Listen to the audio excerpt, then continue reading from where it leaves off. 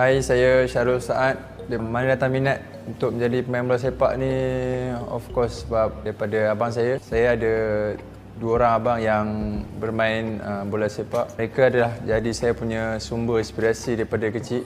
Uh, waktu kecil dia orang dah start bermain so saya mengikuti perkembangan dia orang ikut pergi stadium. So daripada situlah Uh, minat saya terhadap bola sepak tu sangat tinggi lah. Pada saya bola sepak is number one lah for me. Pada saya sebagai seorang pemain bola sepak mesti kita ada uh, rasa untuk mewakili pasukan kebangsaan. Perasaan tu memang tak boleh digambarkan lah.